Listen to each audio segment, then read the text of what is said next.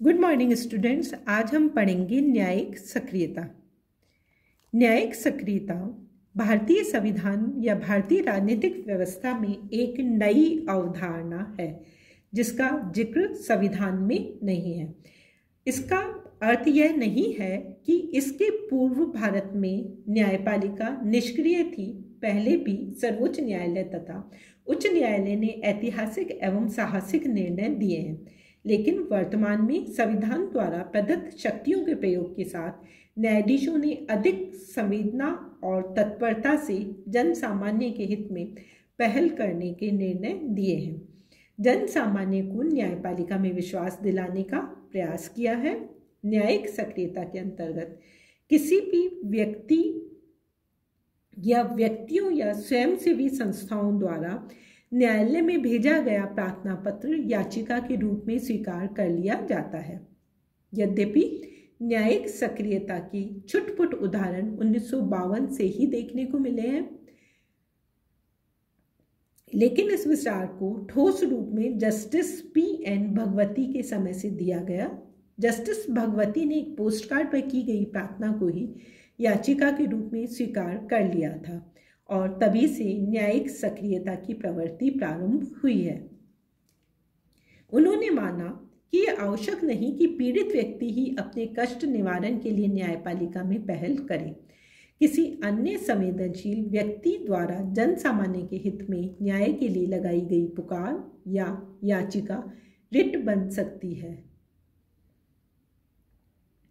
भारतीय न्याय व्यवस्था की यह आलोचना की जाती है कि यह खर्चीली है, लंबी है, इसलिए न्यायिक सक्रियता यहाँ पर विशेष रूप से महत्व प्राप्त किया है। तो हम देखेंगे न्यायिक सक्रियता के कारण। न्यायिक सक्रियता का पहला कारण, न्याय व्यवस्था का जटिल व खर्चीला होना है। न केवल न्यायालय में वर्षों तक मुकदमे चलते हैं, बल्कि वकीलों की भी जो मोटी फ़ीस है उसके कारण आम जनता न्यायालय की ओर मुँह करने की या न्यायालय में मुकदमेबाजी करने का प्रयास नहीं करती तो न्याय व्यवस्था का जटिल व खर्चीले होने के कारण न्यायिक सक्रियता भारत में अधिक महत्व प्राप्त कर रही है। इसके साथ ही साथ हम देखते हैं कि न्याय व्यवस्था जटिल खर्चीली होने के साथ ही साथ जो लंबे समय तक इसकी चल लंबे, चलने वाली प्रक्रिया है, जिसके कारण अनेकों बार मुकदमा दायर करने वाला व्यक्ति का जीवन समाप्त हो जाता है, परंतु मुकदमे का समाधान नहीं होता।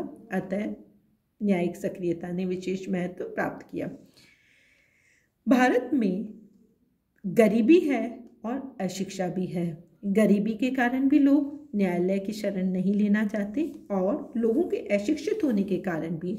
उन्हें विधि की पर्याप्त जाँच ही नहीं होती, जानकारी नहीं होती, विधि की जानकारी नहीं होने के कारण भी वे न्यायालय की शरण नहीं लेते या वे भाग्य के भरोसे अत्याचार को, अन्याय को, कष्टों को झेलते ही चले जाते हैं।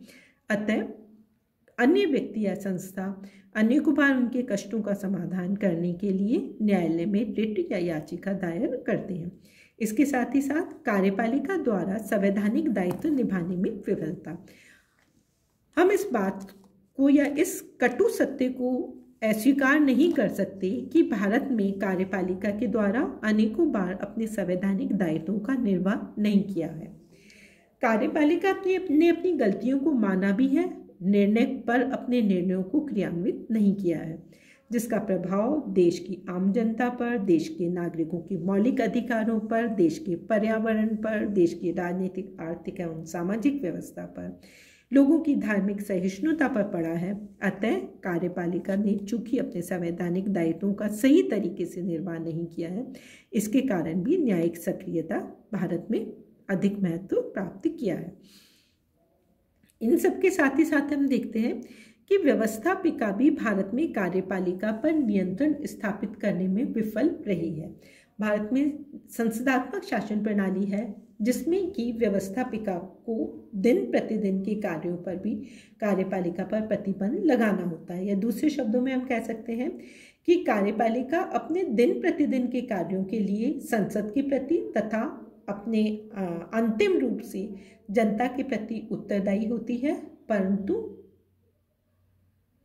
देश का ये दुर्भाग्य है कि कार्यपालिका में भ्रष्टाचार बढ़ता जा रहा है और नेता किसी किसी भ्रष्ट आरोप में लिप्त हैं, व्यवस्थापिका और कार्यपालिका अपने दायित्व पालन, दायित्वों का पालन करने में विफल हो रही हैं। उन्होंने जन समस्याओं को टालने की प्रवृत्ति को अपना लिया है।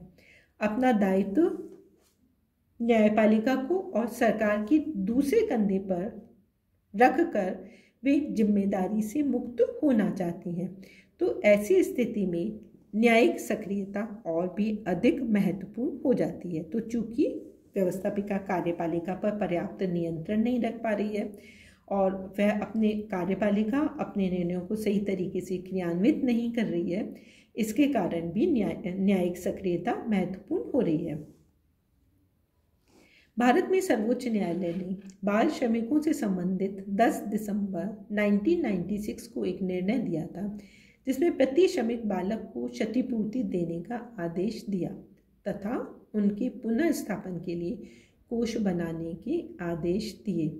दिल्ली में यदि हम देखें तो मिलों व उद्योगों के कारण जो पर्यावरण खराब हो रहा था, लोगों को सामान्य जीवन जीने में भी कठिनाई आ रही थी तो सर्वोच्च न्यायालय के द्वारा मिलों व उद्योगों को शहर के बाहर भेजने का जो निर्णय लिया गया, वह प्रदूषण को रोकने के लिए लिया गया था। ठीक इसी तरह से हम देखते हैं कि ताजमहल को प्रदूषण से संरक्षण देने के लिए न्यायिक सक्रियता को प्रयास न्यायिक सक्रियता एक महत्वपूर्ण कदम के रूप में हमें दिखाई देती है। तो ये प्रमुख कारण थे, जिसके कारण कि भारत में न्यायिक सक्रियता का प्रारंभ हुआ। या वह सक्रिय रही। अब हम देखेंगे न्यायिक सक्रियता से क्या क्या भारतीय राजनीतिक व्यवस्था को कठिनाई या बाधाओं का सामना झेलना पड़ रहा है। उसमें पहला है अनावश्यक कार्यभार। भारत में हम देखते हैं कि न्यायालय के पास पहले ही बड़ी संख्या में मुकदमे विचाराधीन हैं, जिन पर विचार नहीं हो पा रहा है। जनता पहले से ही त्रस्त है। ऐसी स्थिति में न्यायिक सक्रियता के कारण न्यायालय के कार्यों में अनावश्यक रूप से वृद्धि होती है और यह अनावश्यक कार्यभार उसके मौलिक कार्य की उपेक्षा या उसमें उसकी अवहेलना होती है। इसके साथ ही साथ हम देखते हैं कि शक्ति पृथककरण का सिद्धांत ये मानता है कि व्यवस्थापिका कानून बनाएगी, कार्यपालिका लागू करेगी, न्यायालय उसकी व्याख्या करेगा। परंतु न्यायिक शक्ति पृथक, न्यायिक सक्रियता के कारण शक्ति पृथककरण का यह सिद्धांत का खंडन होता है और न्यायपालिका, कार्यपालिका या व्यवस्थापिका के कार्य क्षेत्र में अतिक्रमण करने लगती है। इसके साथ ही साथ हम देखते हैं कि अनेकों बार लोग गैर महत्वपूर्ण विषयों को भी न्यायालय में एक रिट या याचिका के रूप में दायर कर देते हैं, जिससे जनहित याचिकाओं बहुत में बहुत अधिक वृद्धि हुई है। न्यायालय के समय में काफ़ी हुआ है। न्यायालय के दैनिक कार्य प्रक्रिया में बाधा उत्पन्न हुई है तो गैर महत्वपूर्ण मामलों का न्यायालय में याचिका के रूप में दायर होना भी न्यायिक सक्रियता की आलोचना का कारण बना है। इनके साथ ही साथ हम देखते हैं कि न्यायालय के जो दैनिक कार्य हैं, उन, वे ही पूरे नहीं हो पा रहे हैं। ऐसी स्थिति में बहुत अधिक संख्या में जो याचिकाएँ दायर होती हैं, उसके कारण न्यायालय के दैनिक कार्यों में बाधा उत्पन्न होती है। अनेकों बार हम देखते हैं कि ये जो जनहित याचिकाएँ होती हैं, इनका उद्देश्य राजनीतिक होता है। अर्थात सत्तारूढ़ दल को नीचा दिखाना होता है, विरोधी सरकार के कार्यों में अनावश्यक रूप से बाधाएँ उत्पन्न करने के लिए अपने राजनीतिक उद्देश्यों या अपने निहित या संकीर्ण स्वार्थों को पूरा करने के लिए याचिकाएँ दायर कर देते हैं। इनके साथ ही साथ हम देखते हैं कि न्यायालय भी इसके आलोचना का एक कारण बना है। न्यायालय के अनेकों बार परस्पर विरोधी निर्णय होते हैं, स्वयं सर्वोच्च न्यायालय की या अलग अलग राज्यों के उच्च न्यायालयों के अलग अलग निर्णय रहे हैं। इससे विधि के प्रति, संविधान के प्रति आस्था में कमी आती है, अनिश्चितता बनी रहती है। तो परस्पर विरोधी निर्णय के कारण भी राजनीतिक सक्रियता आलोचना का कारण बना है। और इसके साथ ही हम देखते हैं कि न्यायपालिका का सीधा हस्तक्षेप स्थापित हो गया है। कार्यपालिका और व्यवस्थापिका के कार्यों में इस सीधे हस्तक्षेप से कार्यपालिका व्यवस्थापिका अपने कार्यों को सही तरीके से नहीं कर पा रही हैं और यह आलोचना का कारण बना। तो इस प्रकार से हम देखते हैं कि भारत के अंदर न्यायिक सक्रियता जो कि वर्तमान में एक विशेष या महत्वपूर्ण पद्धति के रूप में हमें दिखाई देने लगी। वह आलोचना का कारण बनी है। परंतु इसके साथ ही साथ हम देखते हैं कि न्यायिक सक्रियता का कुछ महत्व भी है, जिसमें पहला है, इसने कार्यपालिका की निष्क्रियता पर प्रहार किया है। लंबे समय से हम देख रहे थे कि कार्यपालिका अपने मूल कार्यों की उपेक्षा कर रही थी, समय पर अपने दायित्व का निर्वाह नहीं कर रही थी, व्यवस्थापिका के द्वारा बनाए गए कानूनों को लागू नहीं कर रही थी। फलतः, कार्यपालिका को सक्रिय बनाने में न्यायिक सक्रियता का महत्वपूर्ण योगदान रहा है।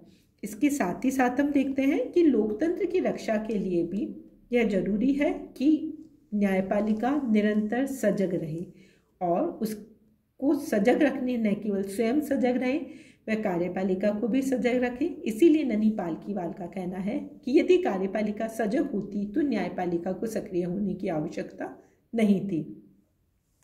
तो वर्तमान समय में जो निराशा की स्थिति है, जिसके दो ही विकल्प हैं या तो भारतीय लोकतंत्र को नष्ट होने दिया जाए या अनुचित स्थितियों का उन्मूलन कर उन्हें नवजीवन प्रदान किया जाए। चूँकि पहला विकल्प विनाशकारक है, द्वितीय विकल्प ही जीवन प्रेरक है, जिसने कि न्यायिक सक्रियता को अधिक सक्रिय बनाया है।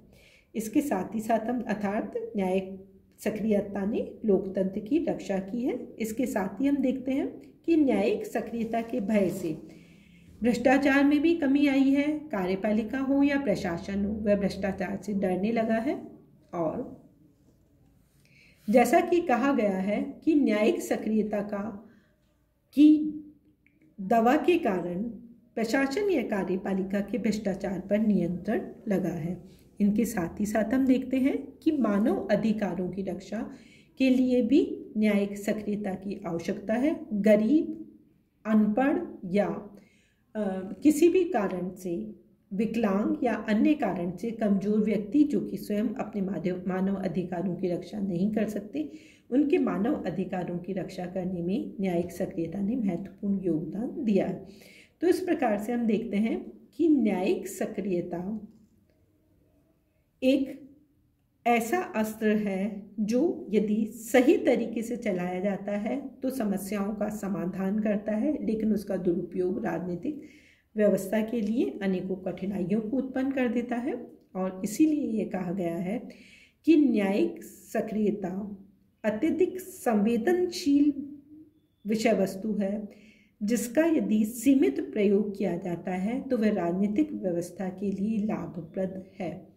और इसीलिए यह भी कहा गया है कि न्यायिक सक्रियता के क्षेत्र में प्रत्येक न्यायाधीश का दायित्व है कि वह स्वतः परिसीमन के सिद्धांत को कभी भी विस्मृत न करें। तो इस प्रकार से हम देखते हैं कि यदि न्यायिक सक्रियता सीमित पर संवेदनशीलता के आधार पर कार्य करता है तो वह राजनीतिक व्यवस्था के लिए विशेष रूप से लाभप्रद है। और अनावश्यक सक्रियता पर रोक लगाने के लिए जनता को जागरूक एवं बुद्धिजीवी वर्ग को प्रयास करना चाहिए। धन्यवाद। जय हिंद, जय भारत।